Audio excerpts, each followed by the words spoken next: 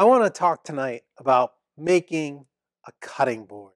You're going to dine in style, and you got to be able to cut things up with a little more class than you've been doing. You know, those little rubber mats, they just don't cut it.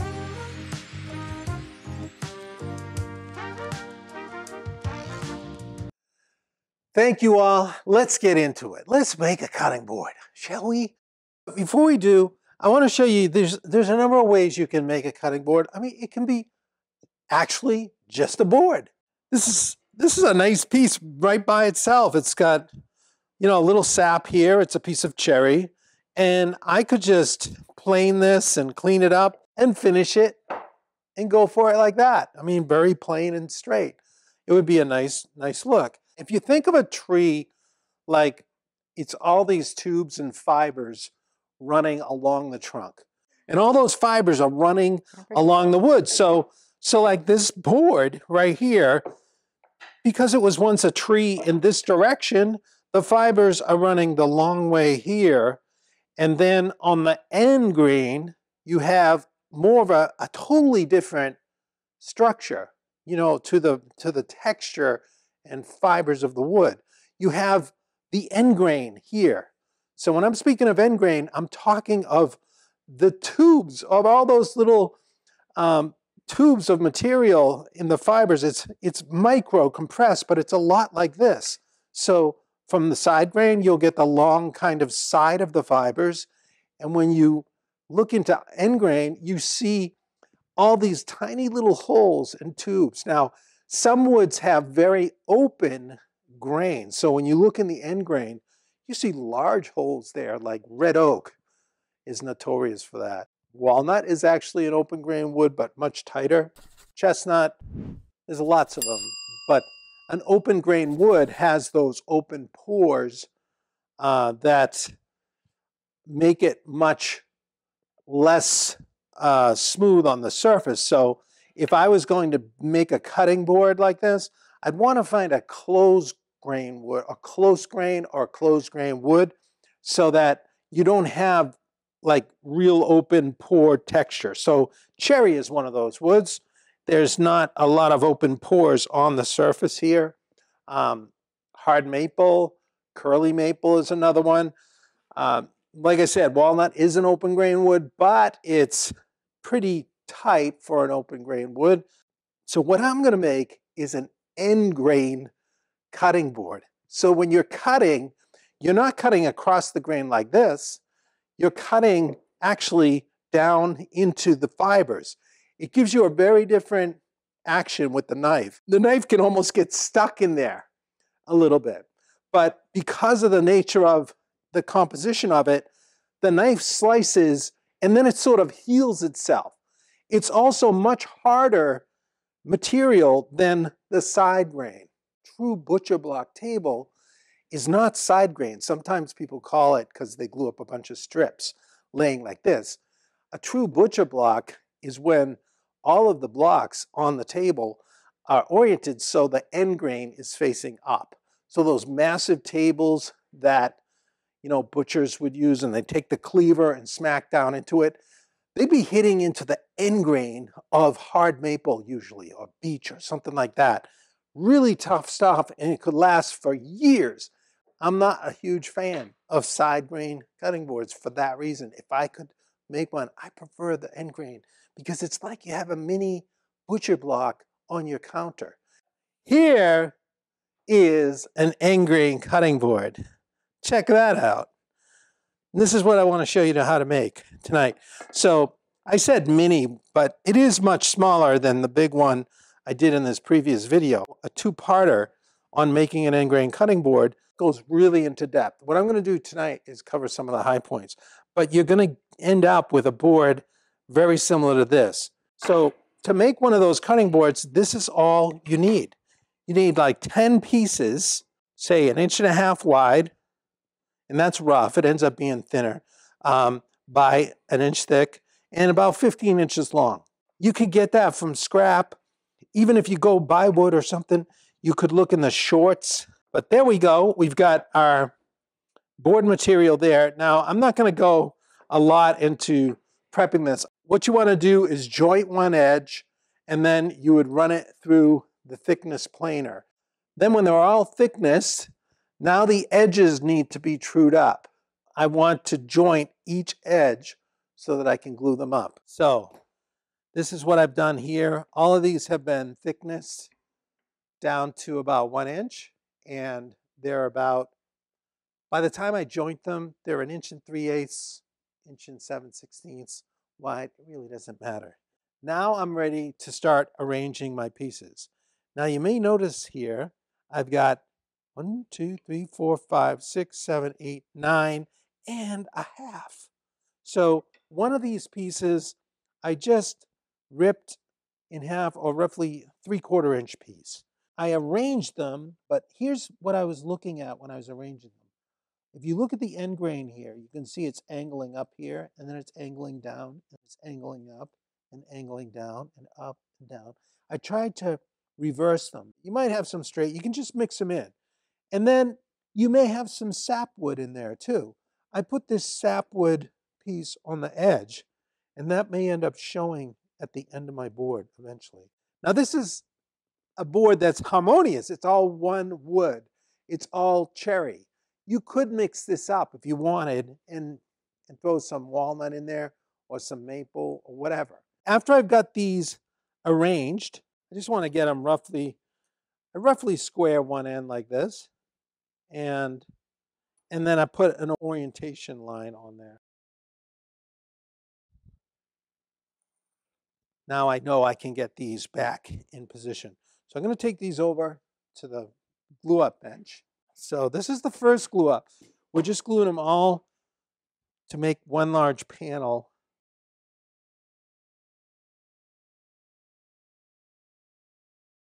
And now I want to get some cauls, like something to, that's pretty straight.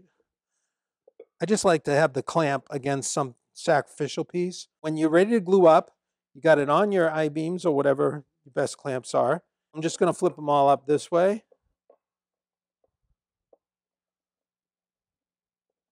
I'm using Titebond 3. Um, just gives you that added waterproof factor. If it is going to get wet, probably at some point.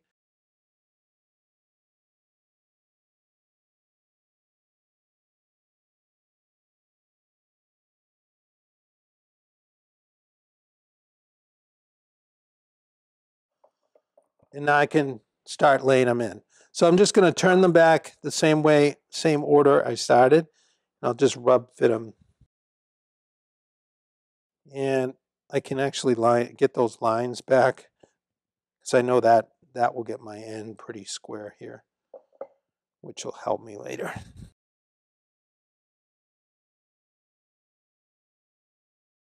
Now I can bring my clamps in. This end's pretty, pretty true they're kind of random this end. Now I, now I can press them down and lean them on the rail, and they're all pretty flush on the top. So that's the beauty of these I-beams. And as you clamp, you want to make sure it stays down there. So there we are. That's nice. And I'll throw one more over the top just to make sure We've got plenty of pressure here. I'll let that glue set up a little before I come and scrape it off with a putty knife. And I've got nice glue distribution, not too much on there. We can look on the bottom, same thing. So that's nice, where that'll be a, a good first step. So after that's all clamped up, you'll have one like this. Now this one, you notice I got a little more sapwood in it, and you can play around with that. Like, you know, this, this will have a little more sap character. Now we've got our board to this point. Now we want to smooth it out. If you had a thickness planer that was wide enough, you could run it through there and just lightly skim it. Um, or you could run it through a drum sander, or you could hand plane it. but you're going to have some variation. You do want to get this flat because this is going to become the new glue edge on both sides you could do something like this where you could plane it. I'll just take, try the number five. So I'm just gonna, the thing about this is the grain could be changing a lot here. Let's put a little scribble on here, just so you can see.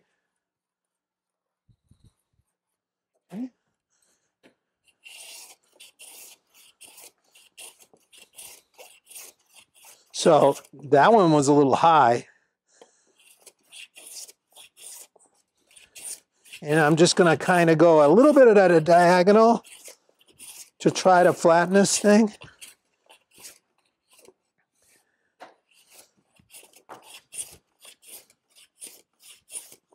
So now I can see the only one, the lowest one was that white one there. See, I've got it almost all gone. Boy, that feels pretty flat.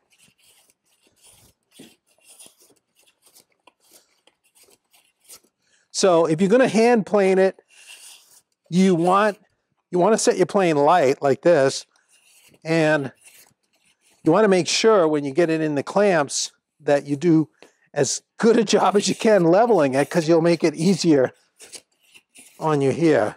But man, that feels pretty flat. Look, all our pencil marks are gone. Beautiful. All right. But if I were to sand it, I would go over here. Let's just run it through here. See what happens.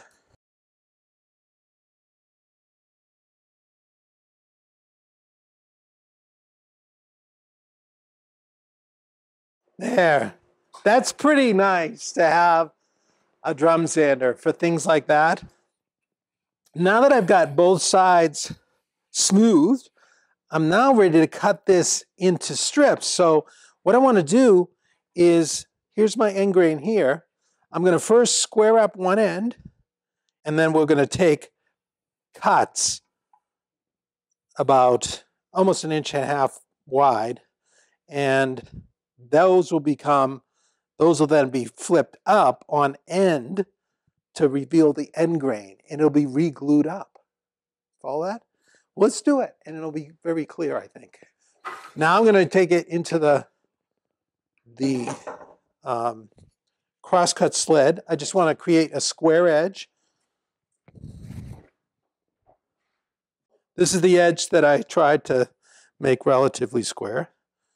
And I'll just reference right off like that. Okay, so now I'm going to make these crosscuts, but here's my end grain. That's going to now go against the fence. Now, before I get carried away, I want to make another orienting line so I can reassemble these and it'll help me get organized. I'm going to cut them like this. So I want to get my V shape going this way. There we go. All right. So now I'm going to set my fence. I'll just go an inch and 7 sixteenths. That should give me enough. And that's a good thick board. And make sure my blade height's good. looks good. And I'm against the fence. Now I'm just going to do a series of rips here.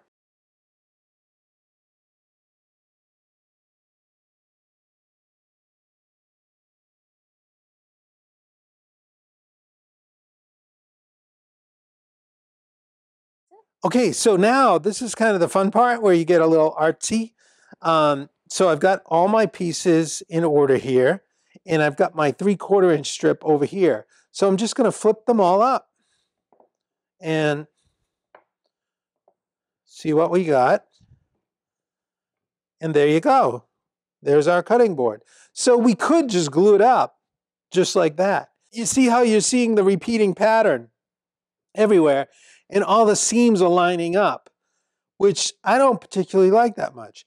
And that's why I put the little three quarter inch one on one end. Because what we'll do is we'll flip this guy around and we'll flip around every other one. And what we're going to do is turn it into a brick laid kind of cutting board. Now the last thing I like to do is every other two.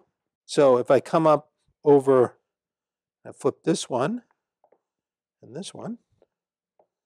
Now these two are reversed of these. Reverse here. Then I'll go the same. Let's see. And then I'll reverse this one.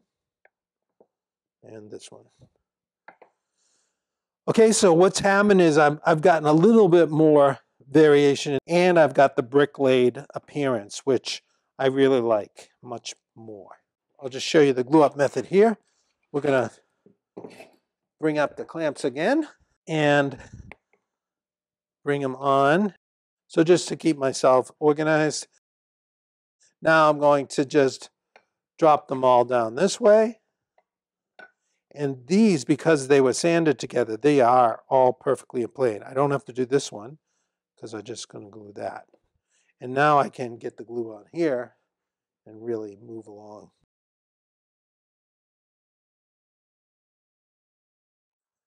And I'm just going to trim the ends here.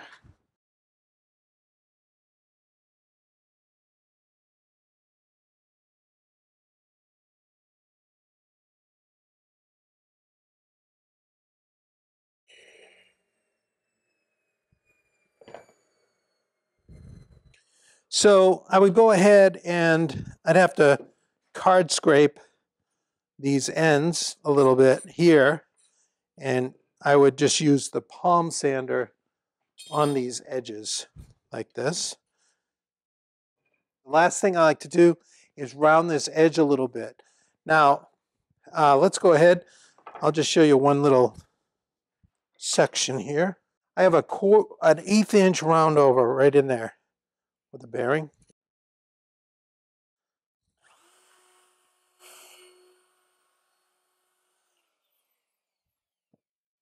Course, I'd go around the whole thing and then sand.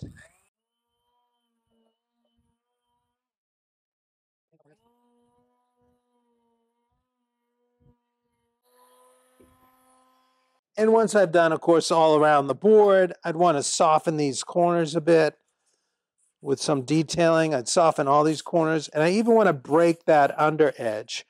Now, the thing about these boards is when they're on the counter, you don't want them to slide around much. So I like to put these, I have, I put these taller feet on the larger one that I did, and we put a link to feet like this. And they get it up off the table, off the counter a bit but they're a little more than I wanted for this board.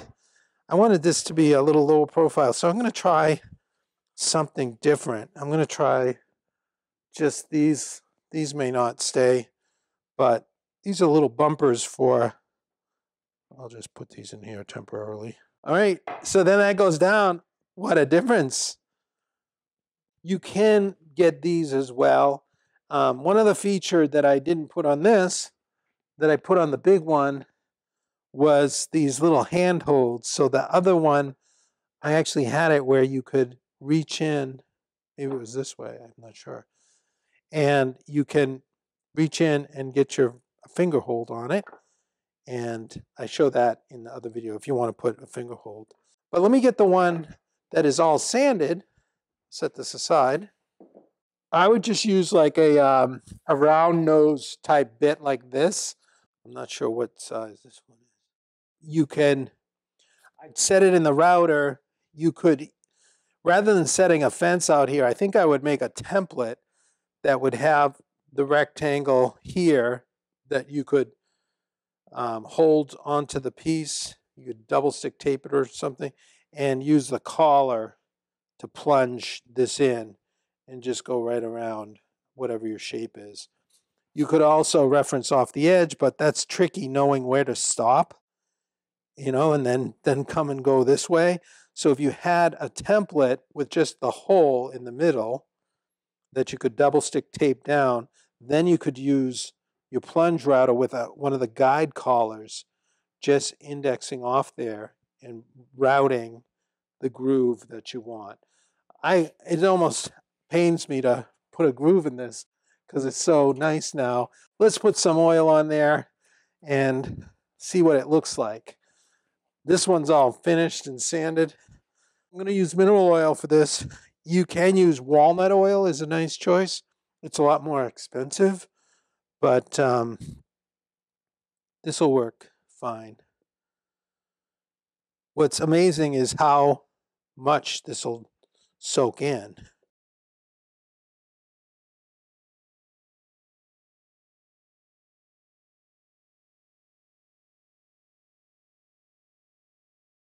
Isn't that cool? I mean, this starts to go in and I, I guess I'll just wipe off some of the excess so we can look at it. But you can keep going on that a little longer and let it absorb in there because it will start to absorb in.